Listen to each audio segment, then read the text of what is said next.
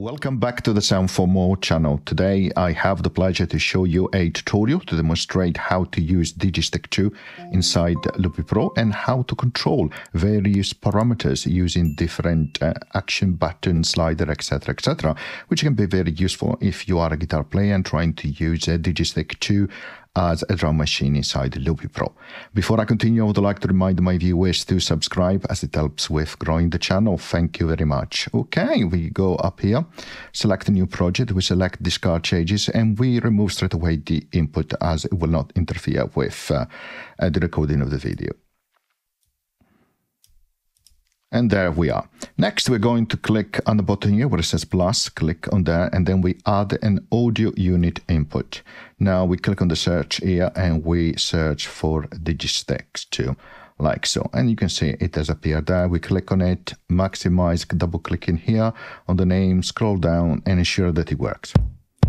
Yeah, we can hear the bass drum and we can hear also the snare. Now, what we're going to do is we're going to ensure that the Host to Sync is enabled so that the tempo is driven by Loopy Pro as a master.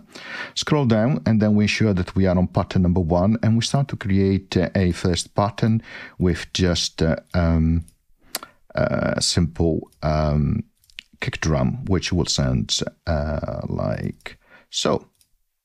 We need to set the tempo, click here, set tempo. Click on 120, click enter, we set the tempo. Play.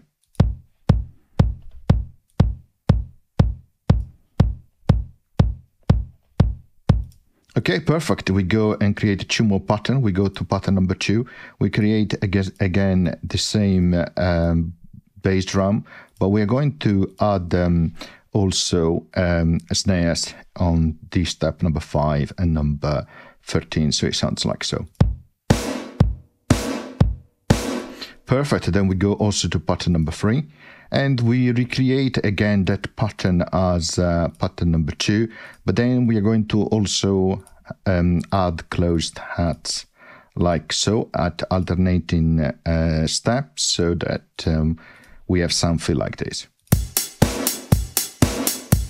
Okay, perfect. We go back to pattern number one, which sounds like so. Perfect, we close this. Next, we go on edit. We go inside the editor. We click here on the minus to remove this row and we click delete row. Then we progressively delete all the different columns like so, clicking on the minus symbol. Now, as you know, you cannot delete the last one. So if you were to delete a row, it will not allow you, or the column will not allow you because you have only that control on the screen. So we expand here on the bottom like so, and then we add a simple uh, button. We click and hold to reveal the endo, click and hold on one of the endo, and we make it slightly smaller. And then we add also a slider, a vertical slider like so, click and hold to reveal the uh, the handles to change the size, resize it like that, and then move it underneath that. Then what we are going to do is click and hold on this one and we select delete. So we have removed that clip, but we still have the space at the top. Now, if I press on this button, nothing happens. And here we have a slider which moves up and down. Now, if I go inside uh, Digistix 2 and I click here to uh, maximize the interface like so, we have a bass drum if you click here on this arrow right until you get to this page where it shows you MIDI map C248, take that number 48, that is the number of the note, okay? And then we go back to the editor, we click on the button here, we click where it says press for action, click on that. And then what we're going to do is we're going to search for MIDI, MIDI like so. Then we scroll down where it says MIDI action, send MIDI message. We click on it. As a target, we select Digistix 2. Okay, this one and then uh, message and we select your note like so. And then when it says your channel number one yes value lived as it is. And then for the note we go to number 48 don't worry if it says c phrase. The, what you need to match is the note number. Now if everything is correct you click here on the send you can test that message. And here you have uh, the sound of that uh, bass drum. Of course, you can go up here, change that to um, bass like so, type bass, enter, and then we have, we have a button which says bass. If we exit the editor, there we are. Now we press on that button, and we can play the bass drum. Okay, now we want to be able to change the volume of that bass drum. So in order to do that, we click on the editor again. We click on the slider here. Where it says value change, we're going to click on the plus there. And then we're going to search for AU for AU parameter.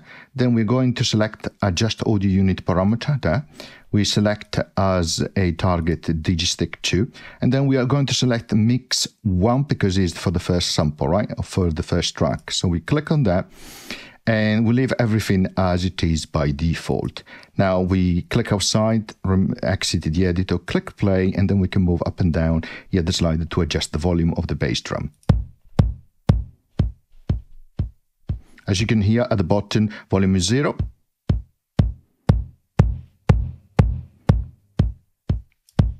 So I can adjust the different uh, uh, the, the volume of that bass drum. Now let's go back inside the editor. Let's ensure that we have um, uh, more space here to the right.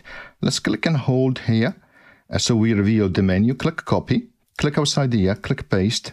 So we copy that, do the same for the slider, copy, click outside here, paste. Now click and move this underneath. Now click on the um, button here and uh, change that to snare so we change the title to snare. Then we click here where it says press, this is the action. And then we change here from 48 to 49, we increase it by one. And we um, exit that, do the same on the slider here. Click on it and click here where it says adjust and mix one. Click on it, target, click on it, and then change from mix one to mix two, which goes is the second sample. Now, if everything is correct, exit the edit mode, and now you can trigger um, snare uh, as well. And you can change the volume, so reduce the volume of the snare, reduce it further, or increase it. Okay, so that is uh, how it works. Now, let's say that um, um, I want to change the pattern. As you recall, uh, we have three different patterns inside. Pattern 1, pattern 2 with snares, and pattern 3 with uh, close hat. Okay, let's go back to pattern number 1. Okay, let's close that. So let's go inside back to the editor mode. Now let's click on this control here and let's add some radio buttons and they will appear here. Let's click on them. Now let's change the style to this one. So we have only four of them. Now where it says select item, click there on the right hand side, click plus. Then uh, here what we are going to do is we're going to send a MIDI message. So we search for MIDI Okay, mm, scroll down, send MIDI message. Okay, then we click on CC and we set these to 20, which is DCC message to change pattern inside Digistix 2. And you have 24 patterns, so the maximum value will be 23 starting from 0, so 0 to 23, which will make 24 um, pattern. Now, if everything is okay, we exit the editor mode, click play, and we will be able to change the different patterns.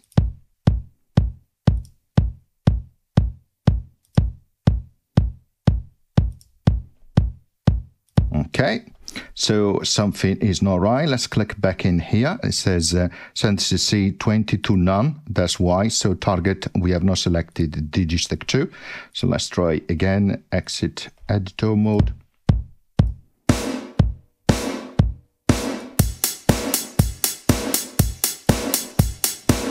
And of course, you can change the volume here for the bass and the snare as uh, the patterns are played.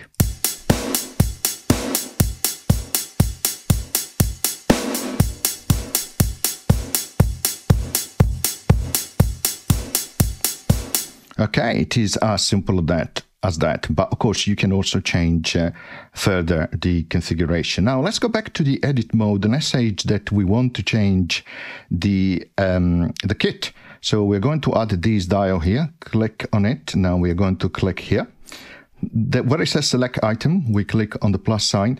Now we are going to search for preset. We start to type preset and then we search for select audio unit preset. We click on it. We ensure this time that the target is selected, Digistix 2. We uh, leave uh, the list to all presets. Exit there, exit um, um, the editor, click play.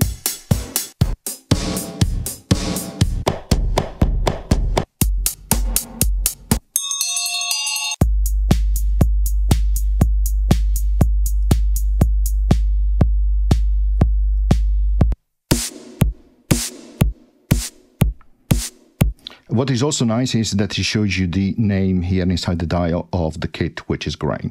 Now, let's say that uh, I want to change the output of uh, um, Digistix 2. Well, it's uh, very simple. So we go back to the editor. Let's add another slider here. Let's click on it. On value to change, click the plus sign. Now let's search, uh, search for AU for audio unit parameter. So adjust audio unit parameter. Click on target, then Digistix 2 again. Now let's search for output like so. And there you are. And now let's exit the editor mode. Let's click play.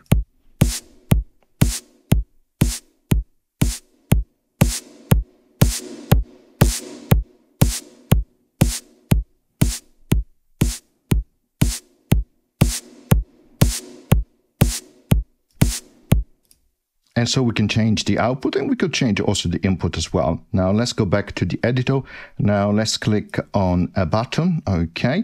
Now let's uh, make that button a little bit bigger because we like to have it quite uh, big. Perhaps we get a little bit more space on this side as well. So uh, like so make a nice big button, click on it, and we perhaps change the color to right? And then where, what do we do? Instead of press, we search for toggle and then we search for mute like so. And then where it says uh, audio source actions, we say mute or unmute audio source. So we have a toggle between mute and unmute for an audio source. Now, as a target, we need to select Digistix 2, which is very easy to forget. There are other options here as well. If you want to do it post fader uh, based on input, uh, if you want to invert the value or if you want to have a ramp as well. When everything is finished, exit the editor mode, click play. Now we can mute it. Click to unmute it.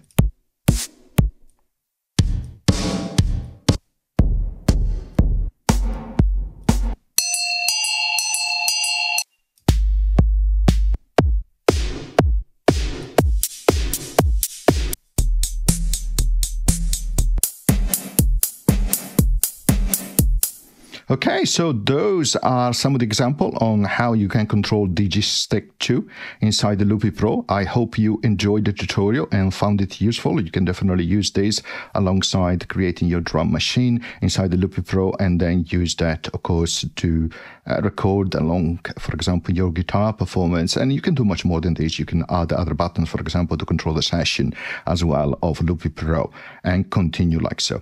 Okay, see you next time. Bye.